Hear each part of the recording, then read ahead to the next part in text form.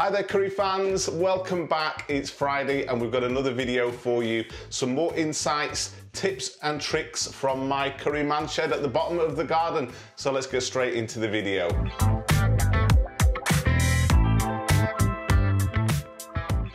Have you noticed sometimes perhaps when you've been to an Indian restaurant or a takeaway and you're eating your curry, perhaps it's chicken, could be lamb, that the meat lacks flavour or it's tough or dry or stringy if it's chicken. We've all had that experience, right?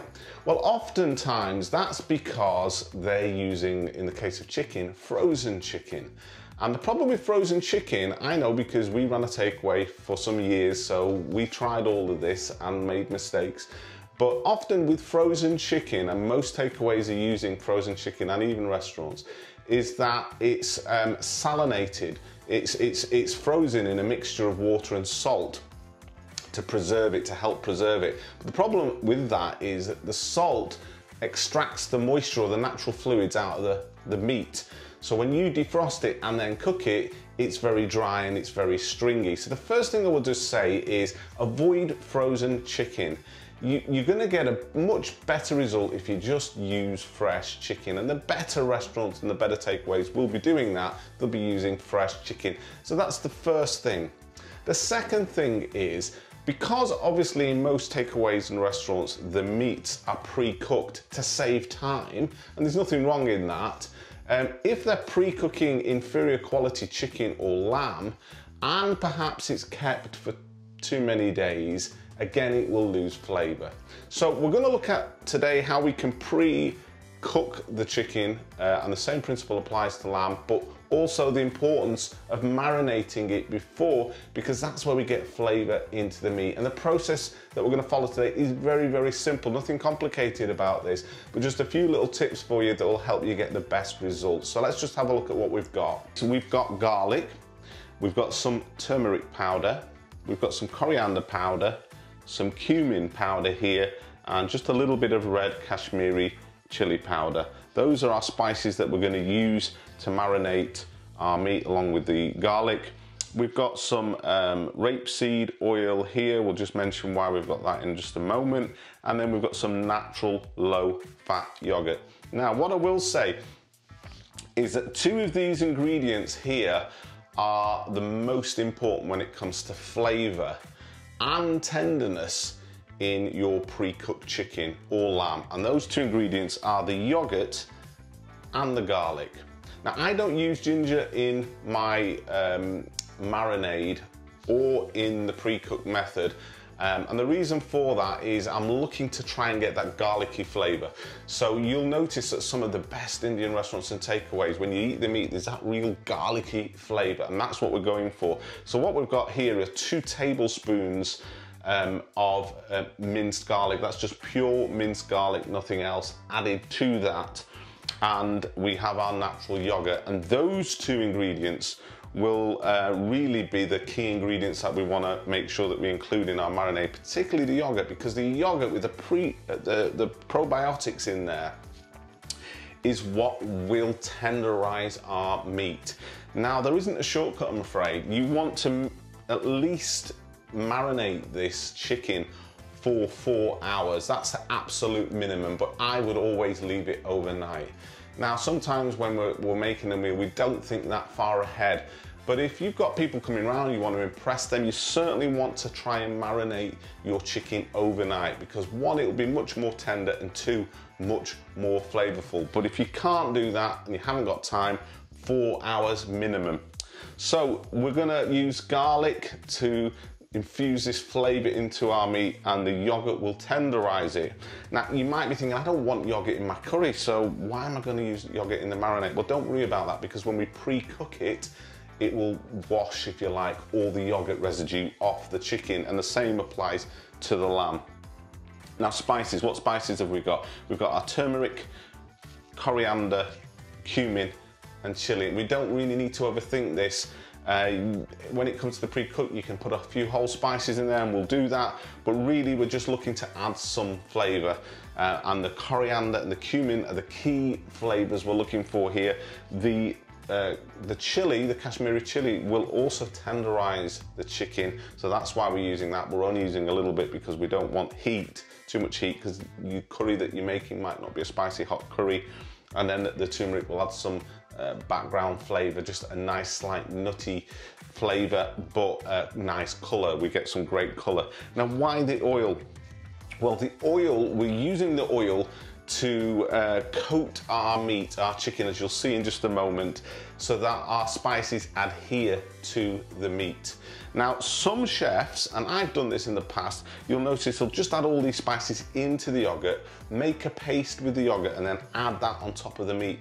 But I don't do that, and the simple reason I don't do that a chef showed me, and it was a Pakistani chef, he said that we always rub our spices into the meat. We put a little bit of oil on there and we rub the spices into the meat so that the, the spices and the flavors and the garlic go, are going and making contact with the meat. They're not just in the yogurt. So that's what I would suggest that you do. Now, you'll also notice there's something missing here that often some chefs will recommend that you put in a marinade, and that is salt. But I don't do that for the simple reason is that salt nat naturally extracts moisture out of the meat. And if we're using meat that doesn't have skin on it, for example, you're not frying chicken or something like that, um, then you don't want to use the salt because that will naturally dry out. We're going to use salt obviously in our pre-cook, we'll use salt in the actual dish. So there's no need to actually add salt to the chicken or the lamb because it will dry it out. But if you're frying chicken or something like that and you want crispy chicken, then obviously you can use salt there on the chicken because it will help crisp it up, but that's not what we're going for today. So let's mix these ingredients together with our chicken. So with this recipe uh, for marinating chicken, we've got 600 grams of really nice fresh chicken thigh. 600 grams should do two or three people easily. We're using the thigh because there's more flavor, there's more fat in there, there's a lot of, it's a lot more juicy and tasty than just chicken breast. Now, I'm afraid with this method, folks, you're gonna really have to get your hands in there, hence you see I've got the gloves on. And you always, always uh, are advised to have a bleach soaked cloth handy to make sure that you wipe all surfaces when you're handling raw chicken. Um, but I've got some gloves on here. So the very first thing that we wanna do, we've got two tablespoons of rapeseed oil and we're just gonna pour that over our 600 grams of chicken thigh. This will help our spices adhere to the chicken. Uh, so they just rub the chicken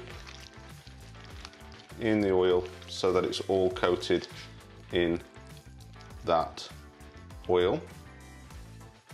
Okay. And then the next thing that we're gonna do is put our powdered spices into the chicken. So we've got our turmeric, there's just half a teaspoon, scant half teaspoon uh, of turmeric.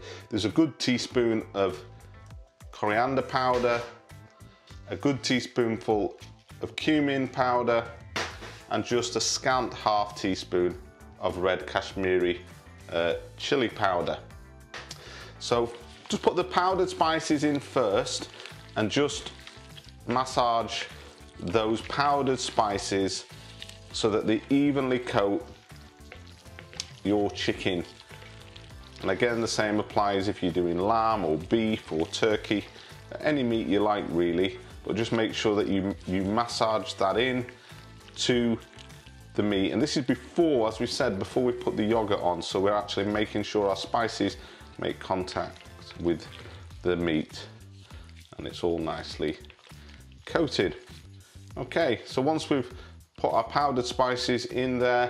Next, we're just gonna add in our two tablespoons of minced garlic. That's just, as I said, minced garlic, nothing else in that. And now you want to just rub that also in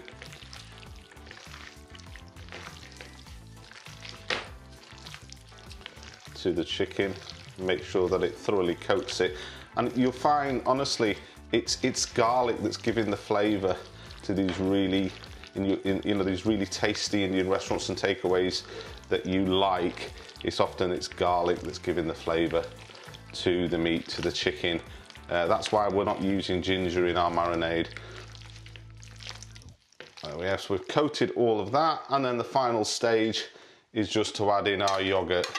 And essentially, just you don't need a lot. We've got about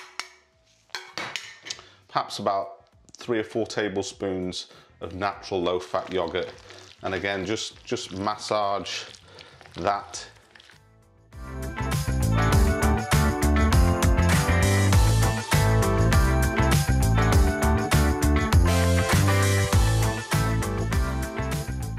before we cook it in our pre-cook, which is the next stage, um, we want to make sure that we've taken it out of the fridge and we've left it to rest at room temperature for at least an hour.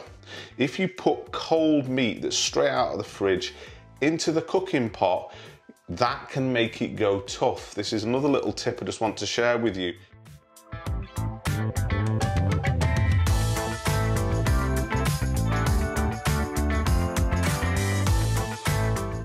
So what we've got on the flame here is just an enamel karahi dish.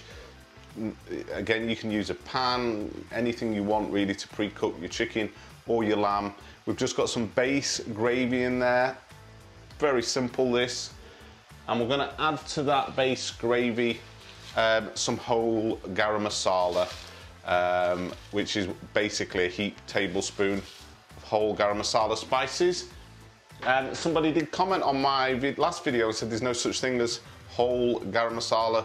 Uh, there is, and, and this is it really. It's the spices in the whole form. Obviously, you can have garam masala in powdered form, but essentially it's at least seven spices. Some garam masala recipes have got more, um, some have got less. But essentially what you've got is coriander seed, cumin seed, fennel, black peppercorns, we've got some cloves, we've got bay leaf, we've got cardamom.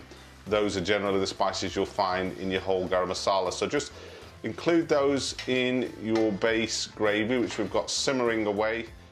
So we're, we're adding to our base gravy and the garam masala, we're adding our marinated chicken, which has been marinating overnight for 24 hours.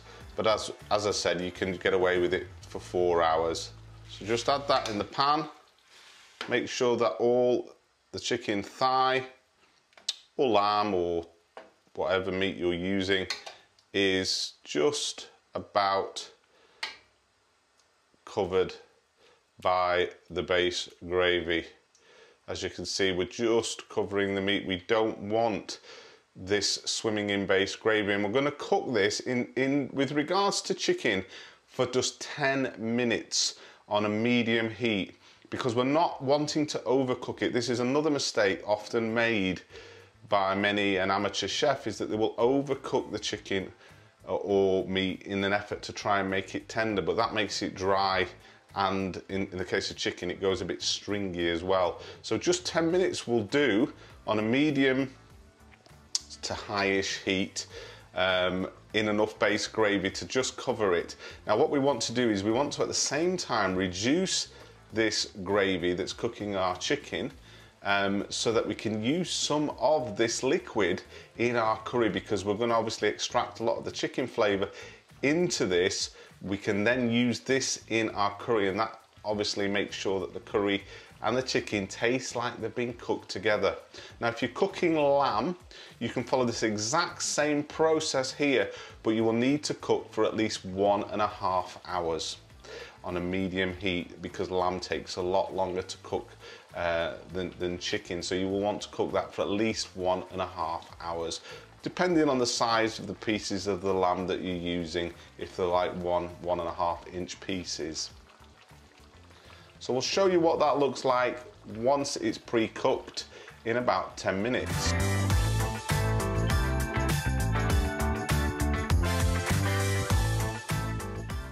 So it's been about 12 minutes. We cooked it just a little bit longer uh, because some of these chicken uh, thigh pieces are quite large. As I said, we don't really want to thoroughly cook this chicken we just want it slightly undercooked because remember it's going in a curry and that, that way we will avoid dry, tasteless meat. So um, if we just have a look now, we just sort of just put our knife in we'll see that it's quite white. Uh, can, I don't know if you can see that there, but it's not 100%. There's a little bit of pinkiness to it, which is what we want. And you'll notice also that our base gravy liquid has reduced quite a bit, which is what we want because we're going to use some of this in a curry. Uh, so what I would do now is I'd take the heat off, um, I'd take the chicken out, put that in uh, a Tupperware container, uh, let it cool down naturally before it goes in the fridge, um, and keep a little bit of the liquid with the chicken to keep it moist. And then what you could do, and I'll often do, is take some of this pre-cut liquid and reduce that separately further into a nice thick umptuous stock that we can add a good chef spoon amount or a little bit more in a curry just to get that really lovely flavour of the meat into our curry. So I hope you enjoyed that video and got something out of it. I do realise for many of you, you will already know about marinating and pre-cooking. However, those little tips about, for example, putting the spices directly onto the meat, onto the chicken, uh, while, rather than just mixing them in with the yogurt, and also not using salt in the marinade, you'll notice a difference, believe me, so try that for yourself. So I look forward to seeing you next week, next Friday, for another video.